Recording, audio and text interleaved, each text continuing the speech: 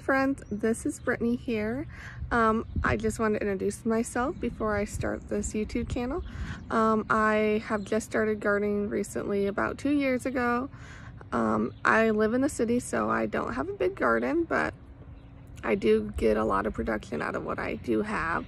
Um, I am kind of sort of a generation farmer. My dad was a farmer, my dad's dad was a farmer, and I'm not sure before then, but we never really had a garden. We had lots and lots of cows and lots of field corn and soybeans.